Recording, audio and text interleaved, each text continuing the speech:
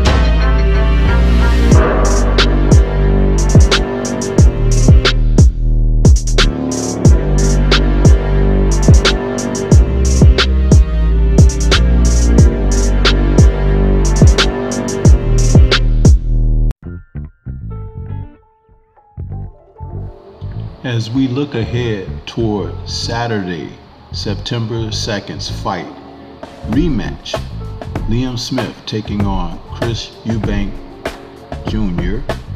in a repeat or revenge scenario, we have to reflect upon what took place the first go round.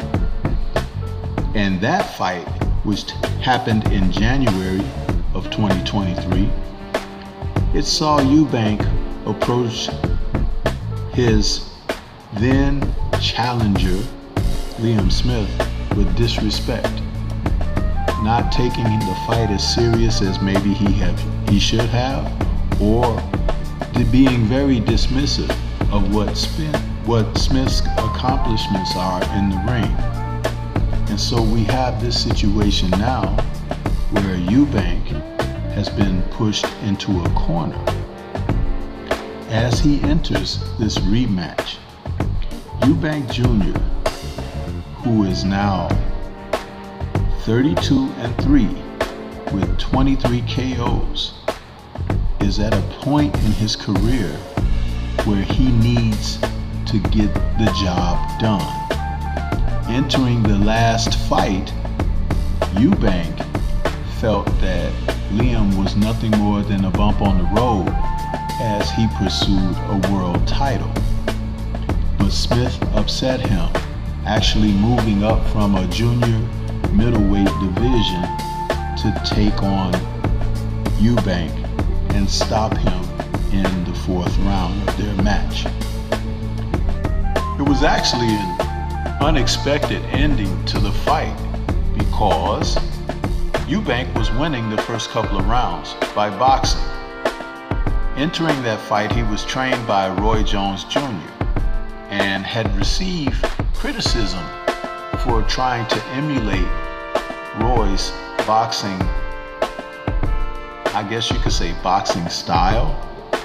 But Smith came into the fight and his record now is 33 3 and 1 with 20 KOs and he was not phased by what Eubank was doing with the legendary Jones in his corner. What Smith was able to do was pursue Eubank and take advantage of flaws that do exist in that Roy Jones style. He was able to find holes in Eubank's porous defense catch him in what I call that triangle area. And Eubank thought he could fight well off of the ropes, but in that style and demeanor that Roy Jones once exhibited, that was the area where Roy found himself at disadvantages several times in his career, including a couple of stoppages.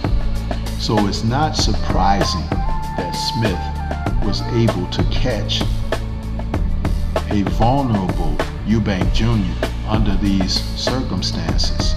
And when he caught up to Eubank in that fourth round, in that triangle area, he was able to pour on what would later become mired in controversy.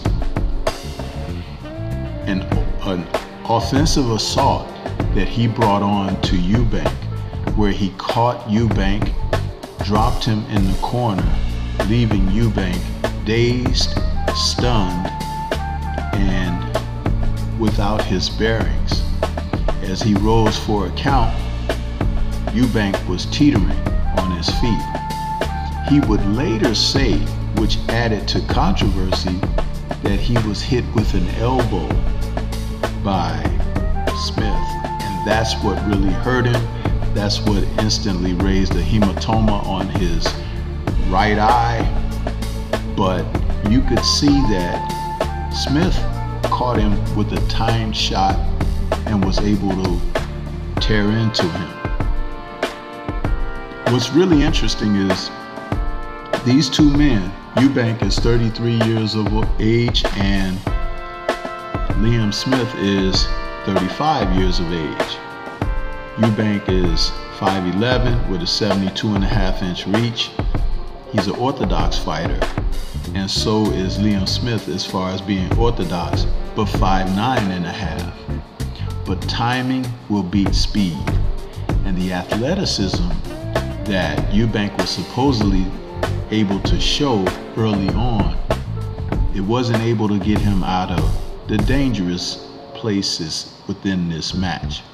So going into the rematch, we are witnessing a humbled Eubank Jr. And will that be enough to make him buckle down? We know that he's made a change in his corner and now has Brian Bomac McIntyre, Crawford's trainer, that will be working in his corner. Will it be enough? I'm not so certain. I'm looking for Liam Smith to be victorious once again in this fight, and it's all because Eubank hasn't taken his career nor boxing serious. But what do you think? This is Stormy B Man. Shout out to the mighty LDBC and Liberated Perspective, a third eye view of the world. For more co- content such as this, please like, comment, subscribe, and share. Let me know what you think about this coming Saturday's fight. Peace to everyone, and everyone remain safe.